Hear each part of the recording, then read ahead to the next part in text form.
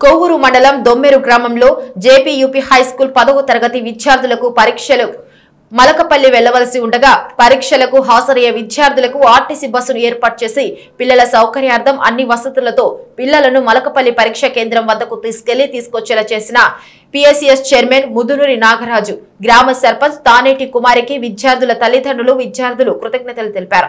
ఈ కార్యక్రమంలో గ్రామ వైసీపీ నాయకులు మరియు కార్యకర్తలు పాల్గొన్నారు.